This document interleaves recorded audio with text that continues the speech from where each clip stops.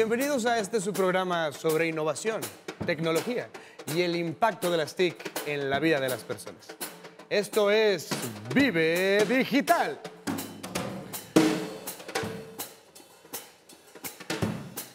Esta noche tenemos a una invitada especial, la chica del misterio.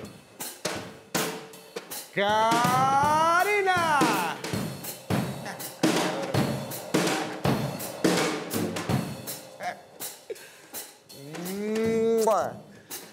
Y poniéndole un toque, un mood inigualable con la música que nos acompaña, el gran, el único, David Zúñiga.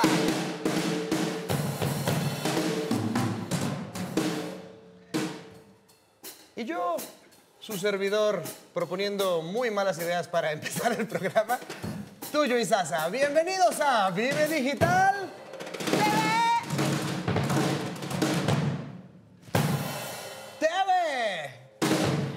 Había que bien, intentarlo. muy bien.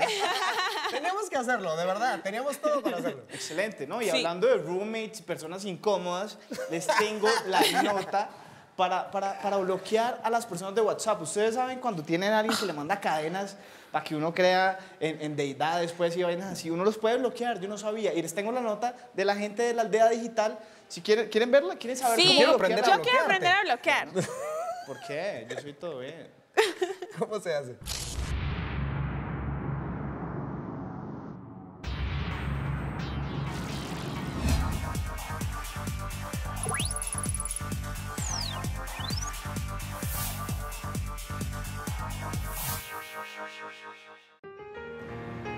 Feliz aniversario. Guillermo, ¿esto es gaseosa? ¿Y dos pitillos? ¿Qué te pasa? Es nuestro aniversario, no seas tacaño. Pero pues para los dos algo especial. Detalle hermoso. ¿Cuál detalle? Es nuestro aniversario. Por eso, para los dos, dos pitillos, dos personas. Sí, mamá. Y por eso vete. Olvida mi Facebook, olvida mi Twitter, olvídame a mí y paga la cuenta, tacaño.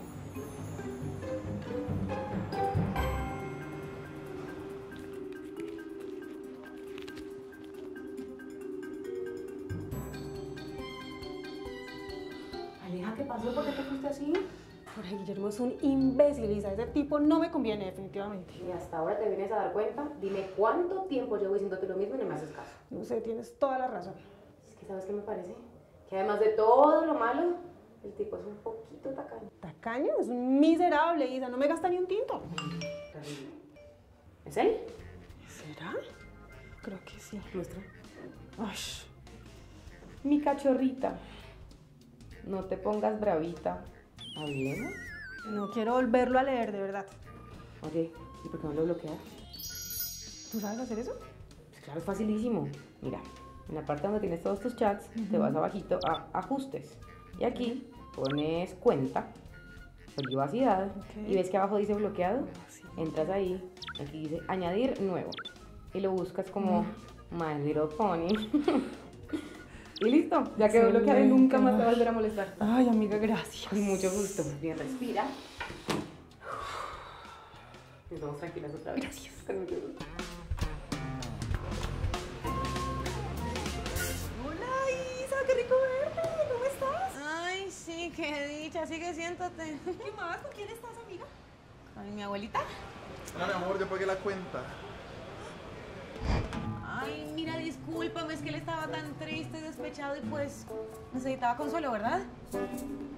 Y yo se lo di. Tranquila, no te preocupes, que ya aprendí perfectamente a bloquear a las personas que no me convienen.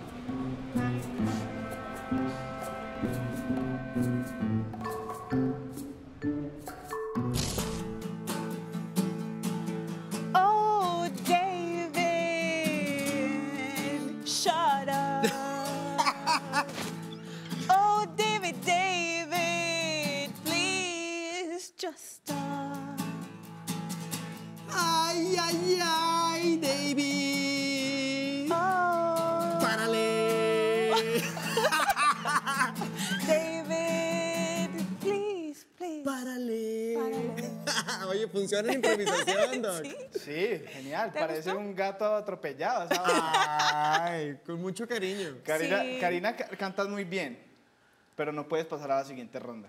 Ay, esta rosa es para ti. Gracias. Y esta rosa también es para ti. Bueno, y entonces, ¿qué, qué ha pasado? Yo creo que no vamos a lograr nada. Una banda, nos volvemos famosos en tres minutos, viral. una Así, banda- video, chira, ¡pum! Una banda de atracadores bien brava. Es lo que vamos a hacer mejor. Bueno, ¿y qué ha pasado con los retos? ¿Qué es lo que va a pasar ahora entonces? A mí me tiene muy emocionado todo lo que estamos viviendo aquí en Vive Digital, pero sé que tú tienes una cosa bien chévere de un restaurante. Pues resulta, ¿se acuerdan que les dije que me iba para Tuluá? Te la pasas allá, la comiendo. tierra del Tino Asprilla y de toda esta gente. Resulta que llegué y conocí a Ernesto, que es una persona increíble, y él tiene el restaurante que se llama La 23. Y si eso sirven allá recalentados con frijoles y, y una fritanguería, ni la madre, se llena todo el día y vende, o sea, mejor dicho, tienen que ver la nota, ¿para qué les cuento? Sí, veamos. A ver. Me va a dar hambre. Ya tengo hambre. Aquí.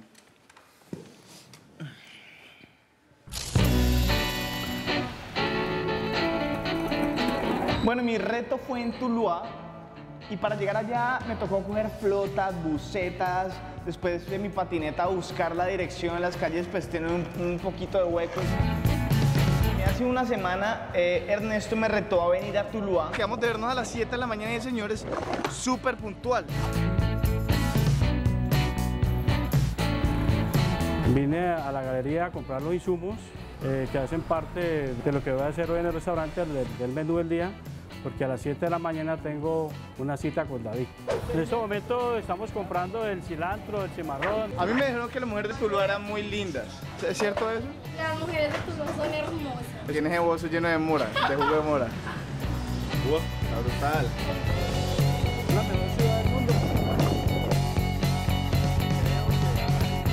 Restaurante La 23, vea. Mucho gusto, mi nombre es Ernesto Potes, soy propietario del restaurante La 23. Eh, casualmente este, este año cumplo 15, 15 años de estar eh, trabajando en mi restaurante. Empezar a degustar ese rico calentado, especialidad de la casa. Bien especial, ¿no? Rico. Pues de desayuno me dio un calentado de frijoles con chocolate, yo con ese calor, les digo la verdad, estaba delicioso. Bueno, después de haber probado el recalentado aquí el restaurante de Don Ernesto, ya tengo las energías suficientes para irnos en patineta. Vamos a ir al punto Vive Digital y eh, Don Ernesto me va a jalar en la patineta desde su moto. Ay, Dios mío.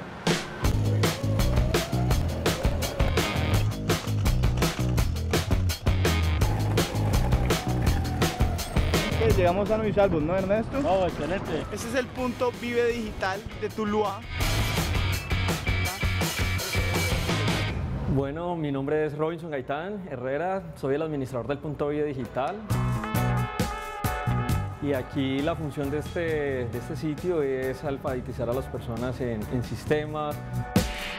Casualmente hemos pedido unos domicilios, él vino, preguntó y vio a la gente y preguntó qué hacía la gente allí. Entonces nosotros le informamos pues, que eran unas clases de alfabetización digital y competencias específicas, lo cual le llamó la atención porque pues como él tiene su restaurante,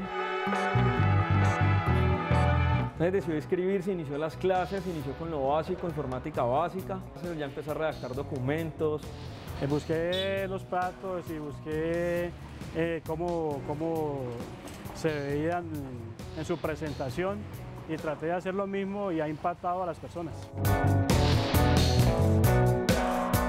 He hecho la publicidad por Facebook, mandándoles fotos, mandándoles dónde está ubicado el restaurante y esto ha hecho de que gente no solamente de aquí de Tuluá, sino de, de partes han venido a visitarme, ya que durante el tiempo que lo he utilizado eh, me- se me han incrementado las ventas.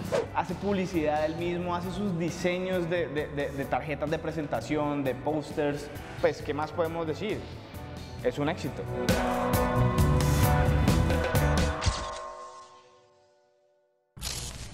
Bueno, pues yo no sé si ustedes se pueden dar cuenta de la importancia que tienen las TIC y la conectividad para personas como Ernesto, personas que, que tienen su negocio que son adultas y jamás pensaron que podían utilizar un computador alguna vez y gracias a ese punto video digital están utilizando el Facebook y promoviendo eso, venden almuerzos que da miedo. Tenía un fajo así de billetes cuando me verdad. Me gusta a mí internet eso, que todo el mundo puede usarlo sin importar su edad y se pueden conectar con todo el mundo. Pero ustedes se pueden conectar con nosotros a través de Twitter utilizando el hashtag Vive Digital TV para contarnos qué quieren que hagamos como nuestros próximos retos. Hace poco fuimos al recientemente inaugurado Punto Vive Digital Plus del Colegio Técnico Central de La Salle, donde descubrimos una gran experiencia de capacitación. Chicos, para mí, estas son las historias que están transformando el país. Miremos.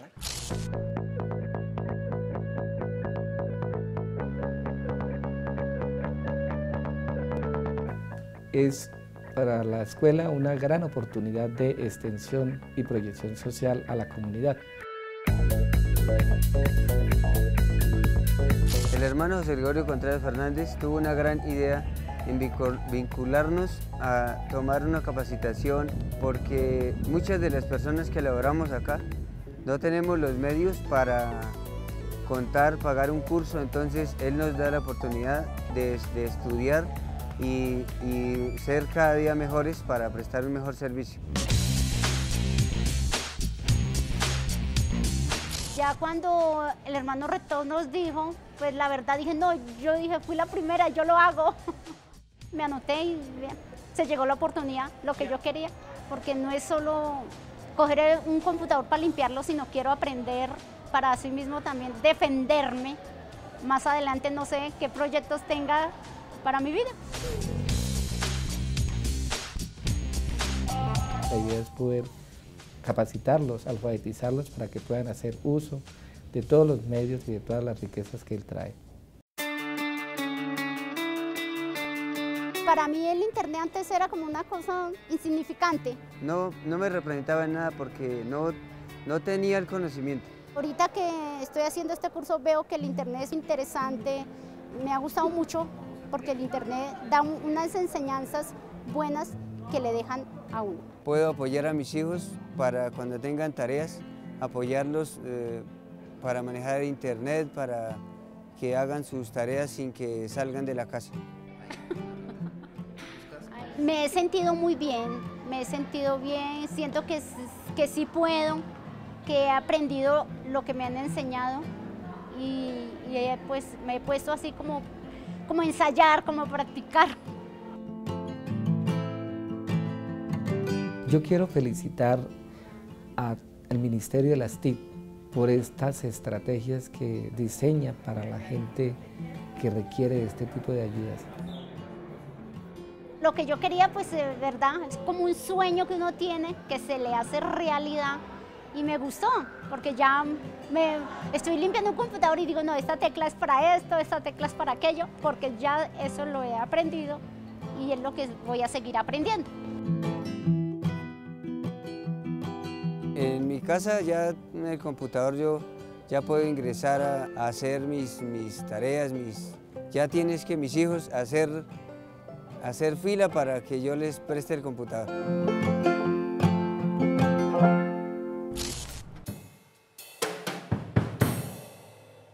Es muy importante que la gente utilice estos medios para, para, desarrollar sus proyectos. Eso es de nosotros, utilicémoslos. Exacto, y es que estas clases de, de, proyectos nos motivan y nos impulsan, y bueno, no solamente para estudiantes, sino para todo el mundo. Todo el mundo.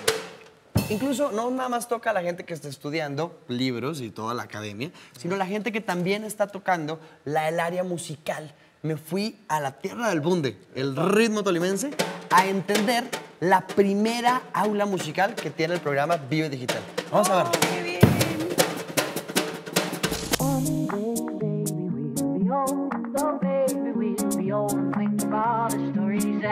Aquí hay un proyecto de aulas digitales musicales que está apoyando a los niños con su formación musical gracias a la tecnología. En este maravilloso lugar hay mucho conocimiento que aprender. Vengan, acompáñenme a descubrir lo que estos niños están aprendiendo.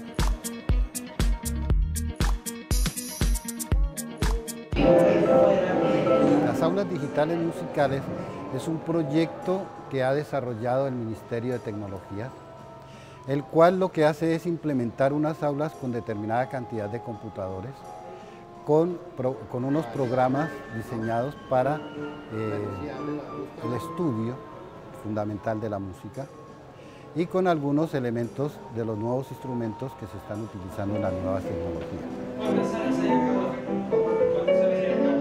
El servicio actualmente de la enseñanza musical está transformado y esa transformación implica que se deban involucrar las nuevas pedagogías digitales en la enseñanza de la música. Va a tener entrenamientos auditivos como con elementos digitales. Va a tener aplicaciones dentro de los elementos de los nuevos instrumentos. ¿Cuáles son los nuevos instrumentos? Que en un teclado ya podemos tener toda una formación sonora a nuestro alcance. Es una grandiosa idea porque podríamos aprovechar lo- la, la expansión que tiene la tecnología en el mundo para también así expandir la música. He aprendido a manejar programas editores de partitura que nos permiten mejorar nuestras habilidades en la música. ya se convierte en una herramienta para ayudar a nuestro aprendizaje y no algo que nos va a quitar tiempo y nos va a hacer vagos o nos va a hacer malos estudiantes.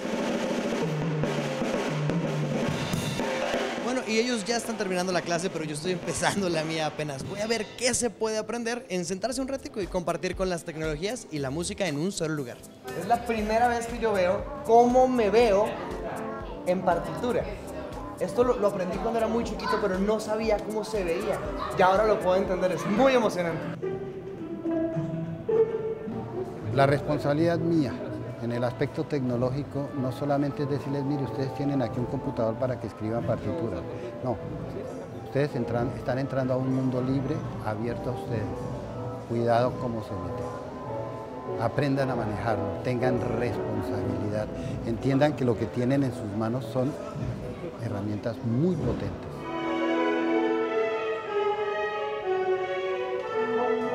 Y en este momento el mundo entero está mirando a Colombia. Y lo está mirando no solamente desde el punto musical, sino del alcance digital que tenemos.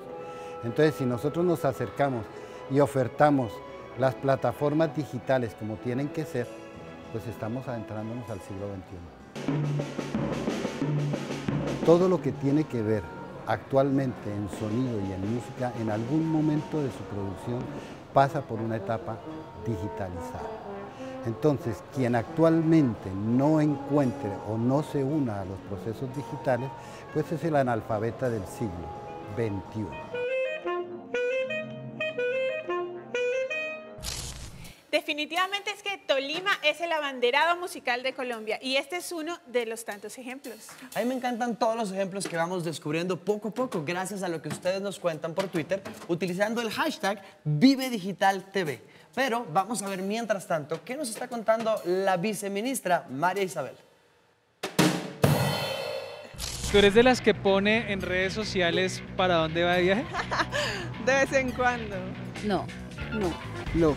Generalmente no, pero pues algunas veces depende. O sea, depende del lugar, si es importante, si es algo chévere, pues sí. Estoy aquí en una de las salidas de Bogotá y quiero aprovechar este espacio para invitarlos a que cuando salgan de viaje no, no lo publiquen en sus redes sociales. ¿Qué colocas? Eh, tierra, no sé, Moniquira, voy para allá. Si ustedes ponen en su Facebook que están saliendo para Girardot, pues ya los ladrones van a estar atentos de que la casa queda sola y que van a poder entrar a robarle sus cosas. También tengan mucho cuidado, por ejemplo, con las fotos que publican en las redes sociales. Normalmente lo que uno publica en las redes sociales y en internet después es muy difícil bajarlo. Entonces siempre que vayan a publicar algo, piensen antes de publicarlo.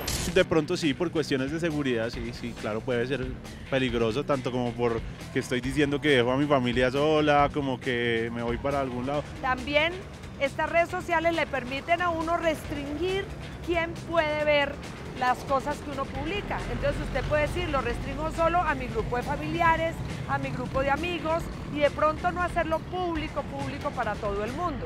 ¿Y no te parece que eso es avisar a los ladrones que no estás en tu casa? Uy, sí. Adviértanle esto a sus hijos. Hay gente que se aprovecha, gente mayor que se aprovecha de los niños haciéndose pasar por niños en las redes sociales. Entonces, cuiden mucho que sus niños no acepten contactos desconocidos. Tenemos desde el Ministerio TIC una iniciativa que se llama En TIC Confío. Entonces también los invito a que visiten la página en ticconfío.gov.co, que ahí están todos los tips para que tengan un cibercuidado y no den ciberpapaya.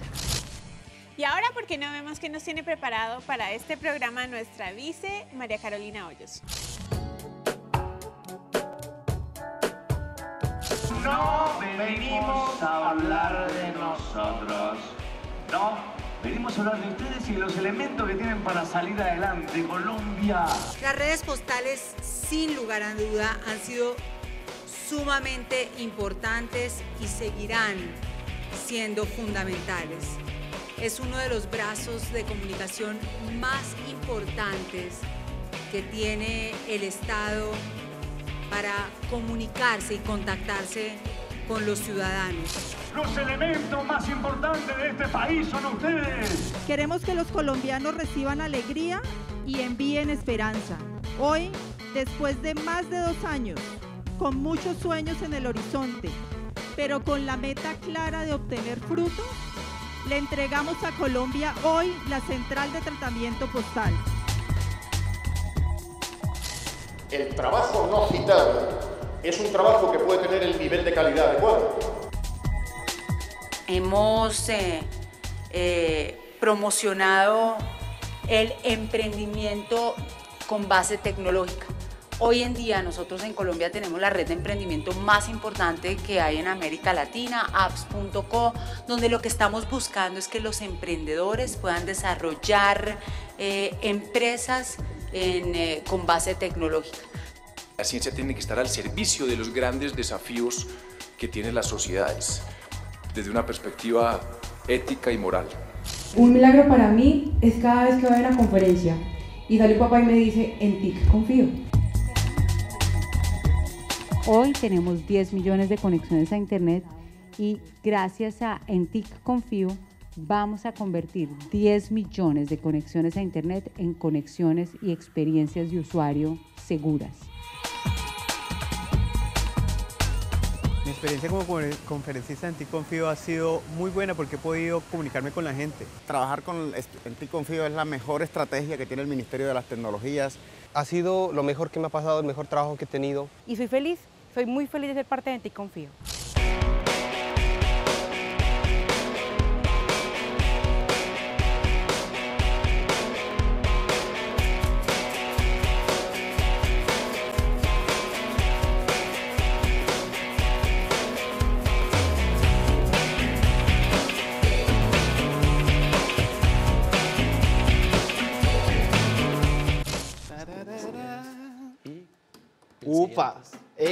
nos, nos cortaban el agua otra vez, tuyo.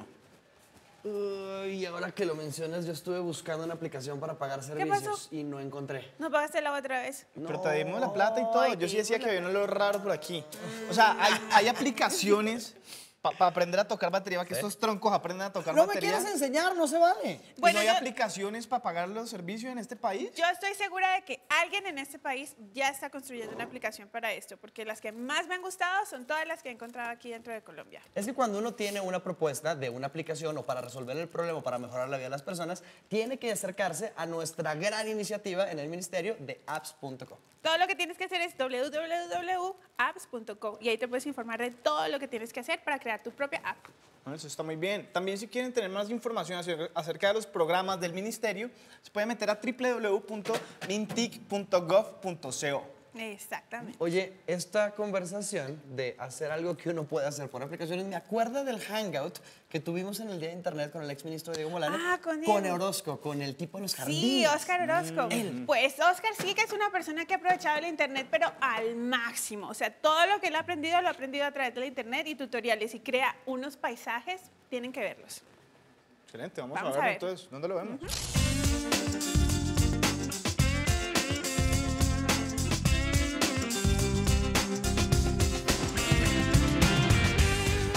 definitivamente esto de la jardinería no es para mí. Yo mejor me voy a encontrar a alguien que sí sabe más de este tema. Hola, Oscar.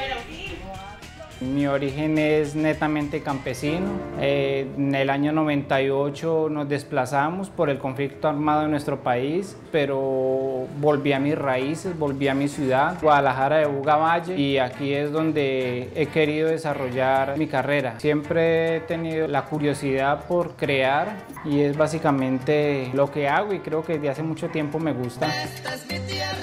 ¿Cómo comenzaste tú esta carrera de paisajista? Hace 14 años que que vengo enredado un poco en el mundo de, de lo natural, de lo ornamental, de darle formas y diseños. ¿Y cómo aprendiste tú? Primero la Universidad de la Vida, segundo las partes tecnológicas como son el Internet y los medios de comunicación me han ayudado demasiado. Para mí ha sido mi universidad. Para poder empezar a plantar tus flores, ahora empieza a darle color. Este es el resultado de muchos años de capacitación, de tutoriales. Riega y fertiliza la torre según sea necesario. Esto es mi pasión, pero tengo otra pasión. ¿Por qué no vamos a tu casa y me enseñas también un poquito de, de los modelos y de, la- de las otras obras que tú realizas? Dale, vamos, con mucho gusto. En esta casa contamos con conectividad a internet. Para mí es la herramienta básica y fundamental. La mayoría de las ventas las hago en línea. Los encargos de las figuras que yo realizo las hacemos por internet. El 60 o el 70% de nuestros clientes salen de las redes sociales. Y en la parte del paisajismo es también fundamental. Todos llevamos en nuestro corazón un jardinerito, todos abrimos un, hueco, todos depositamos una planta, pero no todos tienen la capacidad de diseñar completamente un jardín. Eh, la diferencia es de que el paisajista juega con los colores, con la profundidad, con las alturas, con las escalas. Mi escuela la he hecho es de una forma muy tecnológica y esa escuela o, eso que he aprendido lo he venido a aplicar acá. No me queda tiempo para asistir, como les digo, a una parte, a una universidad presencial. Eh, la parte económica tampoco me ayuda, pero el internet sí y es gratis. Yo no sé si ustedes lo notan, pero cuando uno la pasa tan bien, el tiempo se pasa volando. Es que lo bueno se acaba rápido. Ya se nos acabó este programa, ya ustedes vieron todo lo que hicimos, los viajes que nos pegamos, los retos que cumplimos. Pero ahora tenemos que ver los retos que tenemos para la próxima semana. La próxima semana.